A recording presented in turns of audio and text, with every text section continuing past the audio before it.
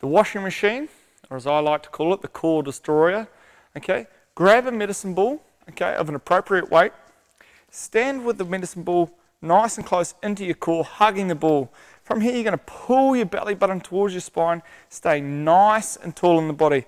Widen up your stance so you've got a nice, strong stance. Okay, soften your knees, and from here, start nice and slow and get the rotation going with the ball.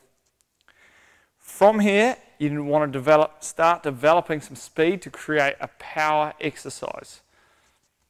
You only want to do this exercise for up to 10 seconds, okay, or when your form starts to degrade. Keep the breathing going and keep that belly button sucked in the entire time.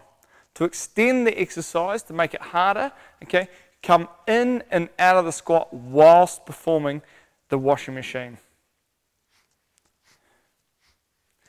Keep that belly button sucked in, the back nice and straight.